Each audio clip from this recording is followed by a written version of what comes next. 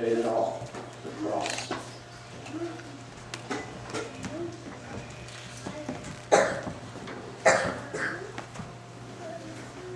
That's the price sin cost. Someone's going to die. Jesus took your place if you choose to receive it.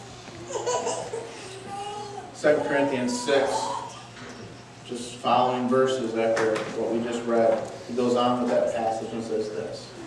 As God's co-workers, we urge you not to receive God's grace in vain. For he says, In the time of my favor I heard you. In the day of salvation I helped you.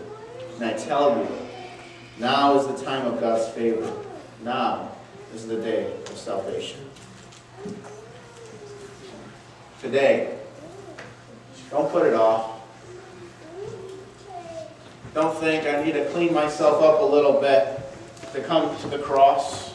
No, you come to the cross as you are.